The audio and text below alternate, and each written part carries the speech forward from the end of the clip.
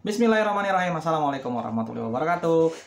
Eh, terima kasih udah nonton lagi di sini dan em, hari ini gue pengen nge-share perjalanan gue 7 hari mencari cuan dari produk digital dan ini gue dokumentasi dalam bentuk video reels panjang. Jadi nanti bakalan gue taruh video di sebelah sini dan eh, teman-teman bisa cek juga kalau misalnya mau pengen tahu itu ya part-partnya gitu bisa langsung ke Instagram gue di @hidayatnurm di sini juga dan apa namanya gue juga akan ngebuka dashboard gue karena ini eh gue ngiklanin produk digitalnya itu. Jadi gue nggak secara organik doang tapi gue juga eh, ngerjainnya secara eh ngejualnya secara pay traffic gitu ya. Gue pakai pay traffic gue pakai Facebook Ads gitu. Jadi nanti gue akan kasih lihat gimana eh, apa namanya gambaran di di dashboard gue gitu. Di di apa penjualan produk digital ini ya. Jadi silakan disimak dulu perjalanannya di sini Oke. Ya, bismillahirrahmanirrahim. Ini adalah tantangan buat diri gua sendiri jualan produk digital dalam 7 hari. Dan ini langsung gua kasih lihat penjualan hari pertama gua. Nih. Ini 1 Juli. Pendapatan gua sekarang masih di 500 ribuan. Oke. Kita lihat nanti ya. Di hari ini 1 Juli ya, teman-teman ya. Kita lihat nanti di tanggal 2. Oke. Bismillah. Ya, itu adalah penjualan hari pertama gua. Cukup lumayan lah ya. Itu eh, baru mulai tadi malam jam 1. Oh iya, ini gua jualannya organikan plus pakai ads ya. Gue pakai ngiklan di Meta Ads 100.000 per harinya. Jadi ya bisa di eh, perhitungin nanti di hari ke 7 aja ya dilihat apakah iklannya boncos atau enggak dan apakah produk digital itu beneran menguntungkan atau tidak oke? Jadi sampai jumpa di hari selanjutnya. Ya ini udah ganti hari dan masih berlanjut di challenge gue 7 hari jualan produk digital. Dan ini adalah hari kedua. Mari kita lihat mayar gue udah dapat berapa. Ini adalah hari kedua, tanggal tuh 2 Juli ya, kemarin tanggal 1 Juli. Udah dapat 1,6. Alhamdulillah, Masya Allah. ya jadi udah dapat segitu alhamdulillah semoga besok jauh lebih banyak dan semoga iklannya jadi makin winning gitu ya amin kita cek lagi besok Ya, Bismillahirrahmanirrahim. Ini adalah hari ketiga di mana total dari tujuh hari perjalanan gue untuk mencari cuan dari produk digital. Kita lihat penghasilan gue di hari ketiga ya teman-teman. Nah ini pendapatan udah di hari ketiga, Masya Allah. Kita lihat tanggal 3 ya, 3 Juli ya. Dan ini udah dapat sekitar 2,2. Oke, gas lagi. Bismillah. Nah, itu adalah penghasilan gue di hari ketiga. Insya Allah bisa lebih tambah lagi karena kurva di ads-nya tuh bagus banget. Jadi kita lihat lagi nanti di hari keempat sampai ke tujuh, oke? Barakallahu fikum. Bismillahirrahmanirrahim. Ini adalah perjalanan 7 hari gua mencari cuan dari produk digital. Jadi jualan produk digital. Dan ini udah hari keempat. Dan kita lihat dulu pendapatan gua di hari keempat jualan produk digital. Gas. Tanggal 4 Juli ini kita lihat dulu Mayer ada berapa. Ya, alhamdulillah ada 3,3. Kita refresh dulu. Tetap segitu, teman-teman, ya. Masya Allah. Ya, jadi itu pendapatan gua udah dapat segitu, alhamdulillah dan itu eh, menurut kurva yang gua lihat di dashboard metanya itu masih bisa meningkat. Jadi budgetnya gua naikin dari yang 100 ribuan jadi sekarang udah jadi 300 ribu per day-nya ya. Jadi kita coba lihat nanti hasilnya gimana di hari kelima besok. Oke, barakallahu fikum. Ya, bismillahirrahmanirrahim. Eh, ini adalah hari kelima dari perjalanan gua 7 hari jualan produk digital. Jadi eh, kemarin kan gua udah ada video satu hari pertama sampai hari keempat dan ini udah hari kelimanya. Kita lihat apakah penjualan gua meningkat atau enggak. Sudah hari kelima nih, tanggal 5 Juli, teman-teman. Cek dulu tuh 5 Juli ya. Kita langsung buka Mayer aja. Mayer dulu. Kita lihat. Iya, alhamdulillah dapat 5,9. Kita refresh. Ya, masih segitu, masya Allah. Ya, oke. Nah itu dia penghasilan gua di hari kelima ini dan kurvanya masih lumayan naik dan alhamdulillahnya ads gue juga udah gua naikin sekitar 300 ribuan per day-nya dan gue tinggal tungguin aja hasilnya nanti di hari ketujuh bakal dapat berapa kira-kira ya teman-teman ya oke barakallahu fikum ya bismillahirrahmanirrahim ini udah siang dan ini adalah hari ke-6 dari perjalanan gue 7 hari mencari cuan dari produk digital. Dan kita lihat pendapatan gue di hari ke-6 ini, oke? Okay? Sudah tanggal 6 dan ini hari ke-6 berarti ya teman-teman ya. Kita lihat sekarang mayar udah berapa. Kita lihat dulu. Bismillah. Pastiin ya ini tanggal 6 nih. Tuh tanggal 6 ya. Sabtu. Kita refresh dulu. Ya, alhamdulillah dapat 7,5. Masya Allah. Masih harus berlanjut ke hari ke-7, berarti besok hari terakhir. Bismillah. Ya, jadi gitu. Penghasilan gue udah segitu, alhamdulillah. Dan tinggal sehari lagi dan besok gue akan kasih lihat uh, finalnya berapa, totalnya terus sama gue spending berapa buat iklan juga gue kasih lihat insya Allah ya, kalau gue nggak lupa. Oke, okay? barakallahu fikum.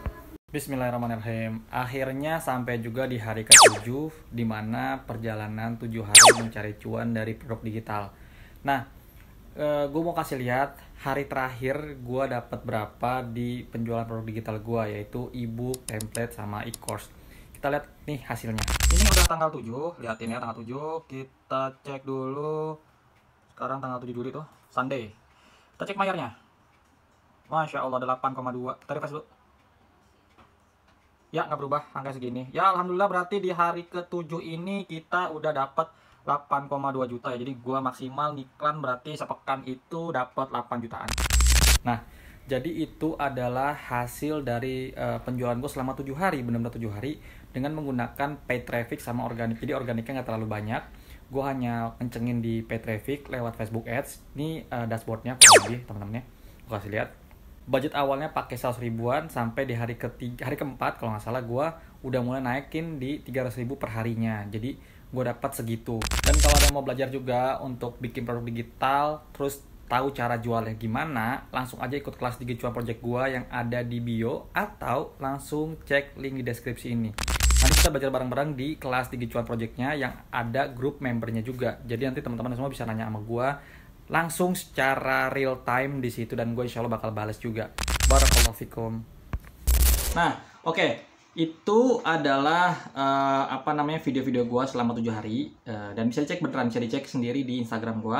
Itu gue dokumentasiin dari hari ke hari ke hari itu ya. Dan uh, gue pengen kasih lihat juga ini dashboardnya teman-teman ya. Kita langsung aja ke dashboardnya. Oke, okay. jadi ini tuh uh, dashboard gue yang udah gua jalani selama 7 hari dan ini hari ke-8. Ini tanggal 8, teman-teman. Ini tanggal 8 dan gua tarik mundur dulu dari tanggal 1 ke tanggal 7 ya, teman-teman ya. Gua tarik mundur dulu nih. Nah, ini keluarkan datanya. Nah, ini kan sebenarnya gua ngejalanin 3 campaign. 1 2 sama ini 3. Nah, berhubung yang ketiga ini emang jelek, mahal bukan jelek sih, bak mahal. Ini 43.000 per per akuisisinya. Jadi gue matiin tuh gitu. Nah gue pindahin budgetnya ke sini ke sini sama ke sini. Nah kenapa gue pindahin ya? Karena gue pengennya ini growth aja iklan yang ini tumbuh aja gitu.